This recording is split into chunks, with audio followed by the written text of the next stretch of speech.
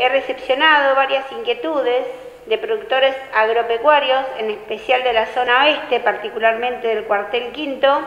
respecto del estado de los caminos eh, vecinales que allí eh, se encuentran, eh, que están bastante deteriorados, haciendo en algunos, en algunos casos hace un año o más de dos años que no pasa la máquina por allí y bueno, sería importante reconocer que el trabajo rural es uno de los motores o si no el principal motor de la economía del país.